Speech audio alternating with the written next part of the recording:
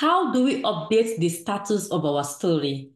I've been asked by this uh, new Scrum Master to be. I'll send the email and they asked me, Aisha, I would really like to know how do I update the sprint status? How do I update the story status? I always hear people talk about updating status on Jira. So how do we do this on Jira? So I'm going to touch on three different ways or maybe even more ways on how we can update status on Jira. And if you're interested in mentorship, do not hesitate to email us at admin at aishascrumtech.com. All right, let's get back to the video. So looking at this is the product backlog, right? And in the product backlog, we have all of our story basically saying in to do, right? So basically it's not being worked on. And sometimes too, I know at work, my Jira when I look at my product backlog, I do not see the status right away. There are some configurations you can do on your board that you can include the status in the new, like in the working, like in the homepage, I would say, uh, where you can actually see the status. But I know sometimes at work, you might not see this. You might have to open the tags for you to see the actual status of the story but there's a way you can do this, right? Maybe I can show you guys in the next video in case you go to your space, you want to know the actual status, the assignee in one glance. I can also show you guys how to do that. So looking at this story, like for example, this story, this is the product backlog, and we have this is the sprint backlog right here. And if I look at this, for example, Jira Roadmap 4, this story is saying that the status in to do. So basically, to do means that it's not being worked on. It's not yet started to be worked on, right? So I can, when I further open this story in full, it's going to show me the workflow that's set up in my Jira board. And each workflow is different based on your company, based on your how your team set it up, based on the whole um, way how you guys should be completing your work, right? So that's very important for me to say that. So then for me to look at the workflow in this story here that says to do, I have to select this drop down arrow. Let me move this so you guys can see. I have to select this drop down arrow. If I select this drop down arrow, I'll see the statuses we can put this ticket.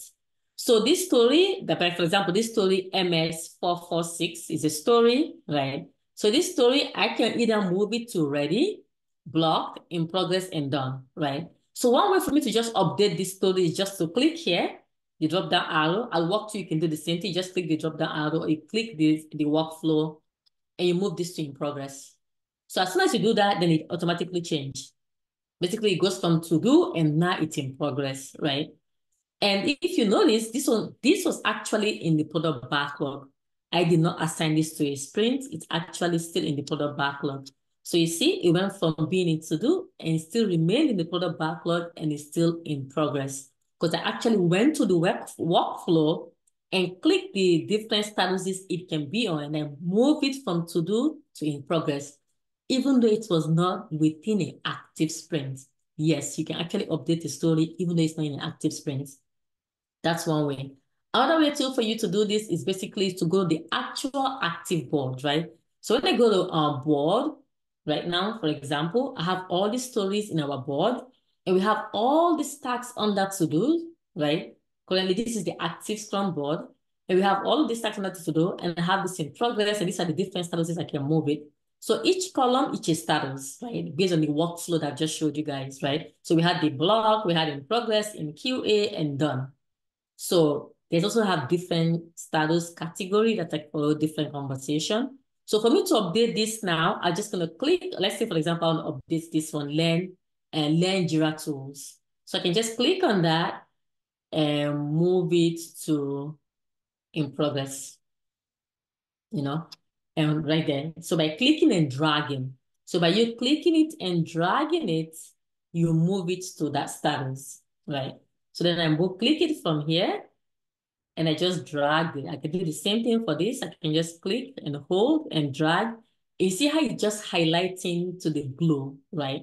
It's highlighting blue, meaning that this story can go here. And if you notice, this, this QA1, it's not highlighted.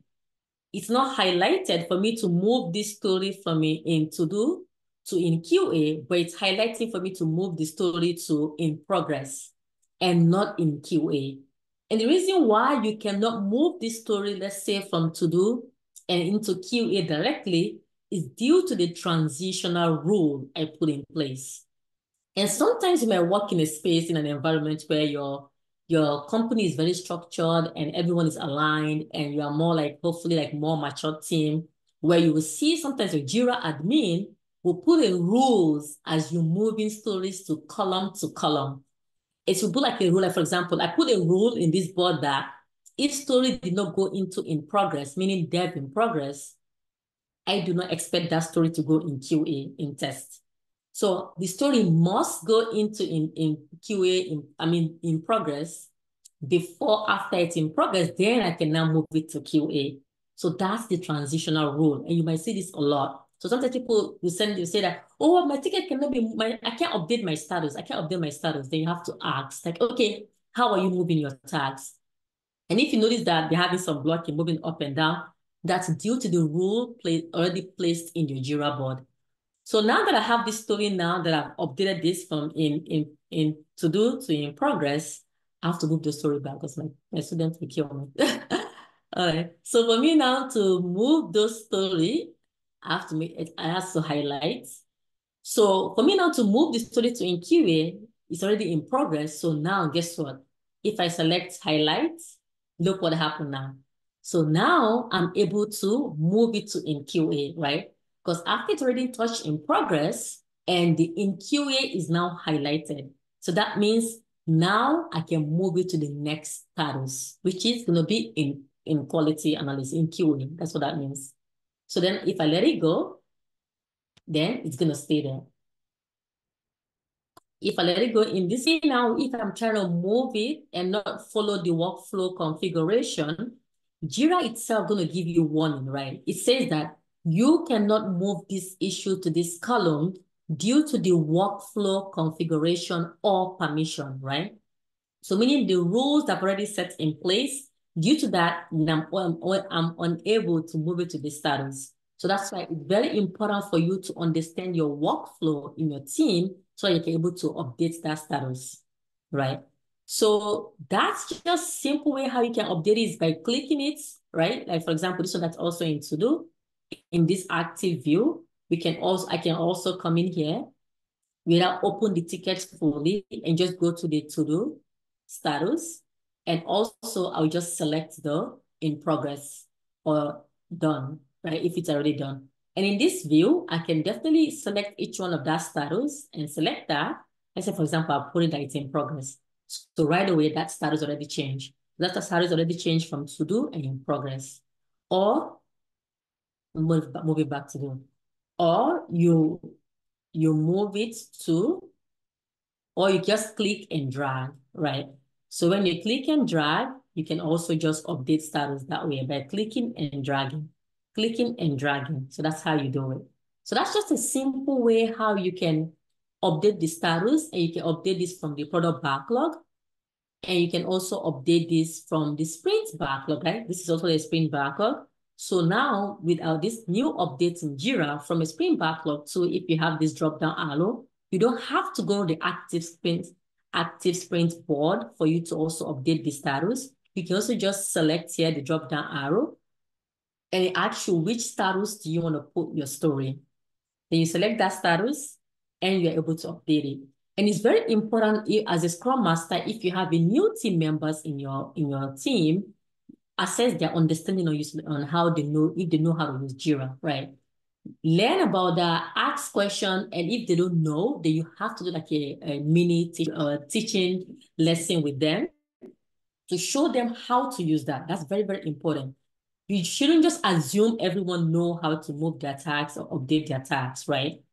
And if you open the ticket fully, that, that's been updated or not updated, you look at the history, you can see the status and the flow that have taken that tax from the creation of the story to all the way to done, the whole process is taken. You see that under the history of the story. So that's just simple way how to update your tax. If this has been valuable, follow Aisha Tech in all social media platforms. Thank you all for watching. See you all again in our next video.